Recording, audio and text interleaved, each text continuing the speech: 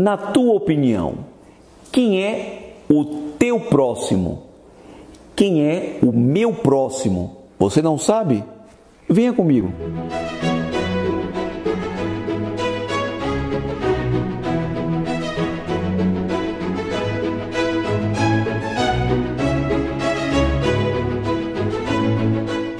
Queridos amigos, salve Maria.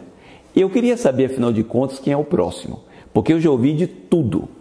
Cada um diz: o próximo é que está pertinho de mim, o próximo é aquele que vive comigo, o próximo é o meu amigo, o próximo é o meu comparsa, o próximo é aquele que é o meu cúmplice, o cuidado. Quem é o próximo, afinal de contas? O evangelho de hoje vai contar. Naquele tempo quiseram pôr Jesus à prova. Vejam bem, acompanhem. É, naquele tempo, um mestre da lei se levantou e, querendo pôr Jesus em dificuldade, perguntou: Mestre, que devo fazer para receber em herança a vida eterna? E Jesus disse: O que está escrito na lei? Como lês? Jesus respondeu com a outra pergunta. E ele então respondeu a Jesus: Na lei está escrito: Amarás o Senhor teu Deus de todo o teu coração, com toda a tua alma, com toda a tua força com toda a tua inteligência. E é o próximo como a ti mesmo. Eles tinham a ideia de que o próximo é o da mesma raça, o cúmplice, aquele que estava pertinho, aquele que. Entenderam, né? E só quis dar uma grande lição. Um próximo não é um cúmplice. O próximo não é aquele que está perto. O próximo quem é? Preste atenção. Jesus disse: Tu respondeste corretamente. Faze isso e viverás. E Senhor continua. Certo homem descia de Jerusalém para Jericó e caiu nas mãos de assaltantes. Estes arrancaram-lhe tudo, espancaram-no e foram embora, deixando quase morto. Por acaso um sacerdote estava descendo por aquele caminho, quando viu o homem, seguiu adiante pelo outro lado Viu, é, o mesmo aconteceu com o levita, chegou no lugar, viu o homem e seguiu adiante.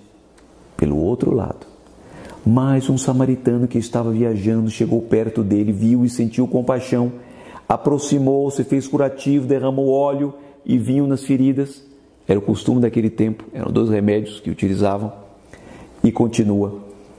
E levou depois para uma pensão. Colocou no próprio animal, levou para uma pensão, cuidou dele, ainda deixou dinheiro para pagar adiantado qualquer despesa. E não se conclui. Na tua opinião, qual dos três foi o próximo do homem? O sacerdote, o levita, que passaram adiante, não quiseram nem saber, ou o samaritano que cuidou dele? Deu remédios, curou das feridas, ainda alojou numa hospedaria. E eles responderam: Aquele que usou de misericórdia para com ele. Então o próximo é aquele que usa de misericórdia. O mais próximo de nós é nosso Senhor Jesus Cristo, que usou de misericórdia para comigo, para com você. E Jesus diz: vai e faz a mesma coisa. Seja você um próximo. Não fique esperando pelo seu próximo mas seja um próximo em relação aos outros. Procure ajudar aqueles que precisam e conduzi-los a Deus. Procure imitar a Nosso Senhor que se aproximou de você, que se aproximou de mim e que nos conduz para Deus. Cura das nossas feridas e faz o bem de que precisamos. Portanto, o próximo é aquele que age com misericórdia, aquele que faz o bem. Vai e faze o mesmo. O próximo não é um cúmplice, não é o que está perto. O próximo é aquele que age com misericórdia. Abençoe-vos o Deus Todo-Poderoso, Pai, Filho e Espírito Santo. Amém. Até amanhã, se Deus quiser. Glória Padre